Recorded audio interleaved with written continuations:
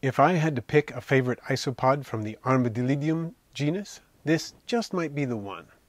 Hi, I'm Russ of Aquarimax Pets, and today's video is a species profile and care guide on Armadillidium gestroi, or gestroi.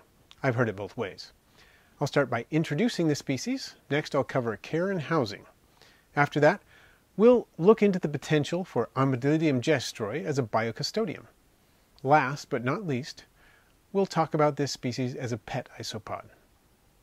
It's said that Armadillidium gestroi comes into the hobby by way of France and Italy, but unlike some other European isopods in the same genus, it has not become widely distributed throughout the world, except within the isopod hobby.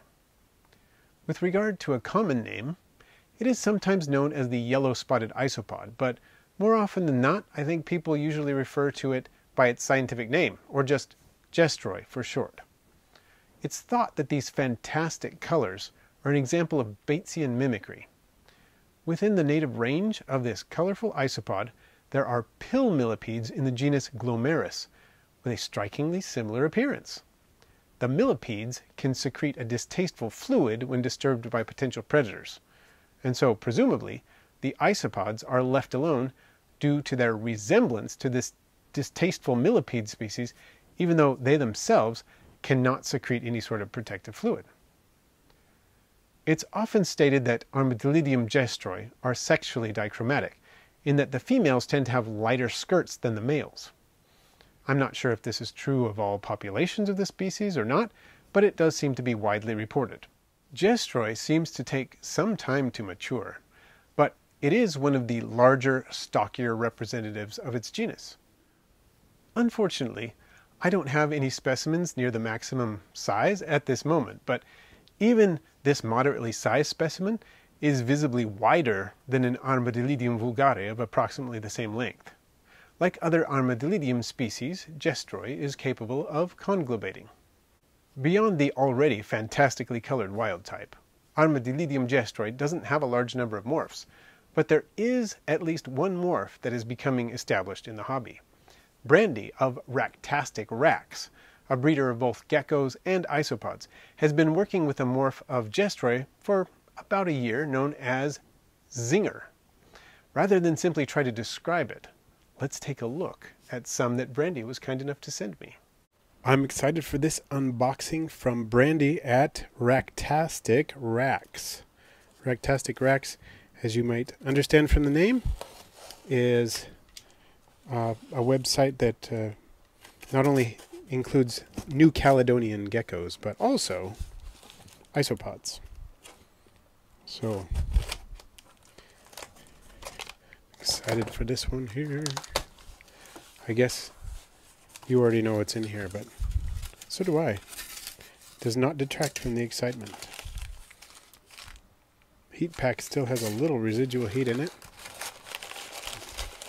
It was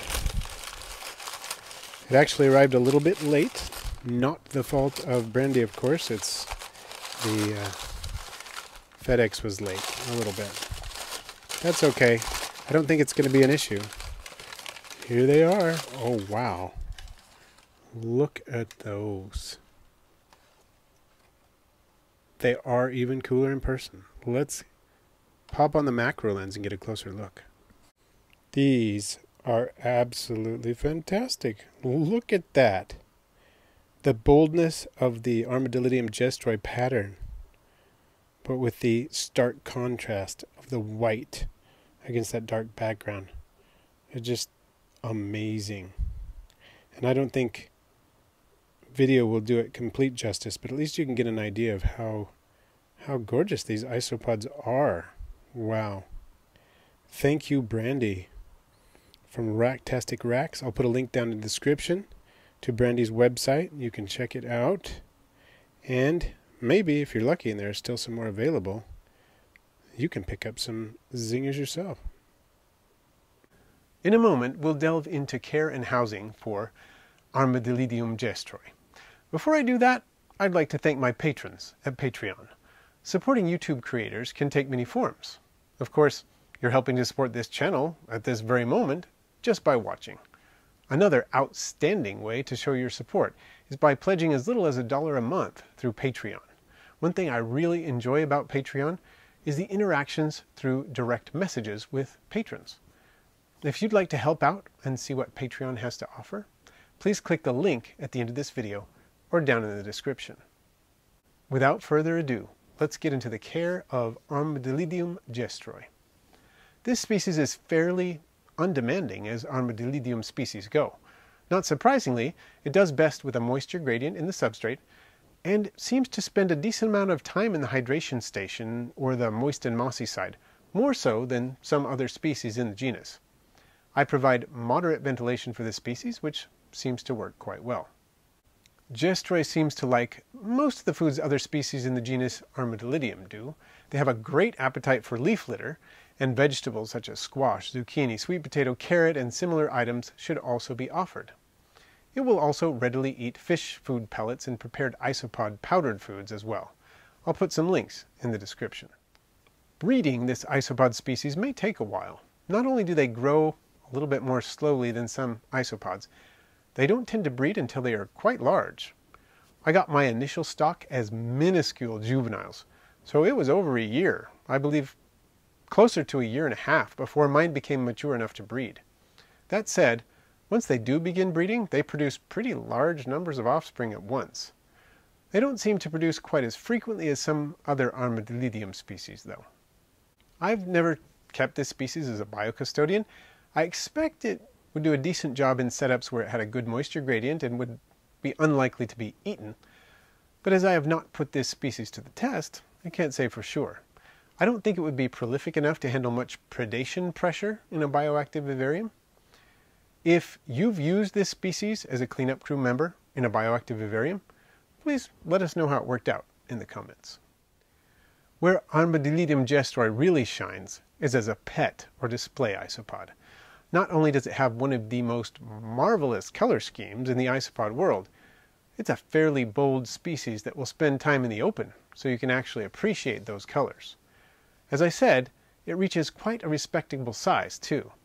I have a small acrylic display enclosure of gestroi on my desk at work, and whenever I glance at them, there are usually some of them hanging out in the open at any given time. When I feed them, they do not hesitate to come out in the open, in ambient light, and graze on the food I've provided, till they've eaten it all. They're not nearly as frenetic at feeding time as, say, dairy cows, but I wouldn't call them particularly shy. And I will note that when kept in a tub, and when I have to open the lid to see them, they do seem a lot more shy than when I keep them in a clear display case. Though they'll produce well once they start breeding, they're not nearly as prolific as dairy cows, for example, and if you just want some as pets, that can be a point in their favor as well. To sum up, if a gorgeous display isopod on the colorful and somewhat tranquil side is what you're looking for, Armadillidium gestroi is a fantastic choice. You seem to like these isopod species profiles, and I certainly enjoy making them. Take a look at the playlist up here. I'm adding videos all the time. Which species should I feature next? Please let me know in the comments. And thanks for watching today. I post videos every Friday with Wednesday live streams, all on aquarium and vivarium pets with lots of isopod content. Feel free to rate, share, comment, and if you haven't already, subscribe. And then tap the bell for notifications all so you don't miss my next video.